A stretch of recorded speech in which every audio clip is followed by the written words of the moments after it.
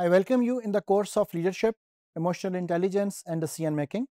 This is module number 43 and we are going to talk about mindfulness and changes to view taken of what the mind is processing.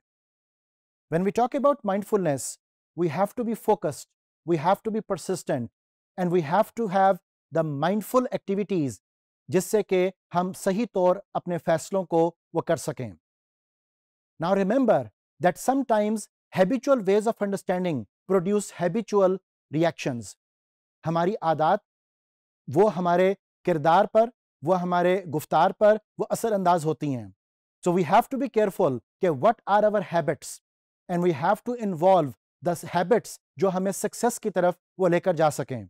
और उन successful habits में the most important thing is that we have to think positive now remember जब हम mindfulness and metacognitive awareness की बात करते हैं तो उसमें हमारे लिए बहुत ज़रूरी है कि हम दो बातों में फ़र्क को क्रिएट कर सकें that either we have to be proactive और रिएक्टिव और जब हम प्रोएक्टिव और रिएक्टिव का कंपैरिजन करते हैं तो रिएक्टिव होने से हम सही तौर पर अपने नतज हासिल नहीं कर पाएँगे।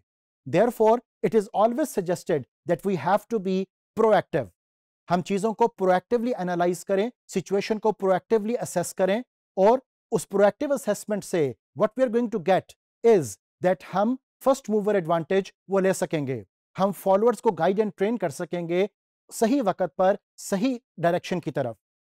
The second thing is when we talk about mindfulness and metacognitive awareness that you have to involve in yourself one thing, that either you are going to be emotionally attached और इमोशनली डिटैच्ड सो ये आपका फैसला है कि आप अपने आप को प्रॉब्लम से सेपरेट कर पाते हो कि नहीं कर पाते हो। इट इज़ ऑलवेज सजेस्टेड कि we have to keep our self detached from emotional context of the situation ताकि हम उसको रैशनैलिटी के साथ अंडरस्टैंड वो कर सकें। अदरवाइज़ हमारी इमोशनल अटैचमेंट जब किसी चीज़ के साथ हो जाएगी, हम जज्बाती वाबस्तगी के साथ किसी चीज़ को इन्वॉल्व कर लेंगे तो उस वक्त हमारी रैशनैलिटी वो मध्यम हो जाएगी। Another important thing is that we have to see कि आया हम एक टू डू लिस्ट फॉलो कर रहे हैं कि हम सिचुएशन के मुताबिक अपने आप को इवॉल्व कर रहे हैं। एंड देयर फोर रिमेंबर कि सिर्फ़ एक टू डू लिस्ट बना लेने से we might be involving our self to become a machine हम एक रोबोट लाइक ऑपरेशन में इन्वॉल्व हो जाएँगे। Therefore we should be able to know what to do and what not to do हमारे पास इवेल्युएशन पॉइंट्स होने चाहिए। हमारे पास इस बात का अंदाज़ा होना चाहिए कि किस वक्त, कब, कहाँ, क्यों, कैसे हमें क्या करना चाहिए और क्या नहीं करना चाहिए। अनदर इंपॉर्टेंट थिंग इज़ कि हम रादर देन एजम्पन्स के ऊपर चलें, हमें चैलेंज करना आना चाहिए एजम्पन्स को, ताकि हम सवाल पूछ सकें, हम इन्वेस्टिगेट कर सकें, हम चीज़ के मल्टीपल डायमेंशंस को परख सकें। तो सिर्फ़ मफरूजात वो आपको नतज पर लेकर नहीं जा सकते। हमें क्वेश्चन करना आना चाहिए किसी भी एस्पेक्ट को कि कोई भी चीज़ क्यों रूनुमा हुई और उसके बैकेंड के ऊपर क्या चीज़ें कारामद थी।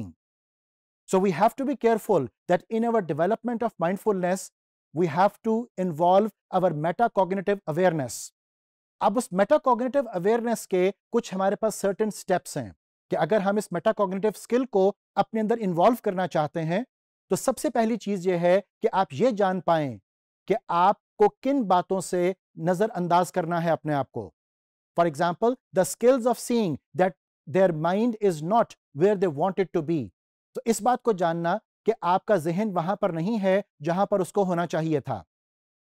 Second aspect in the metacognitive skill is कि हम एक ऐसी स्किल पैदा अपने अंदर करें जिससे कि हम डिटैच कर सकें अपने माइंड को उस पॉइंट से जिस पॉइंट पर हमें नहीं होना चाहिए था। The third skill which we require in metacognitive development वो ये है कि हम अपने आप को फोकस कर सकें उस पॉइंट के ऊपर जिस पर एक्चुअली हमें अपना फोकस रखना है। And the fourth factor is कि जब हम सही पॉइंट का एनालिसिस कर लें, जब हम उस नुक्ते पर पहुँच जाएँ जो एक्चुअल सिचुएशन हमसे डिमांड कर रही है तो अब हम वहाँ पर अपने फोकस को मुंजमिंद कर सकें, वहाँ पर अब हम रिमेन करें अपनी थॉट को कीप कर सकें अपनी थॉट को।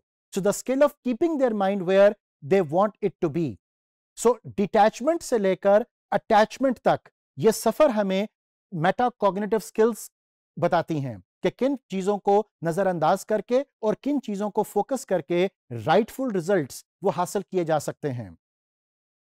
अगर हमें सारी बात को कंक्लूड करें तो माय डियर स्टूडेंट्स याद रखिएगा कि मेटाकॉग्निटिव स्किल्स इंसान के लिए बहुत ज़रूरी हैं। ताकि वो इस बात का तयन कर सके कि कौन से एस्पेक्ट्स उसको अपनी सोच में रखने हैं और किन नेगेटिव एस्पेक्ट्स को उस नज़रअंदाज करना है। और एक लीडर के लिए भी ये ज़रूरी है कि वो पॉजिटिविटी के साथ सही पॉइंट्स को मद्देनज़र रख सके। Thank you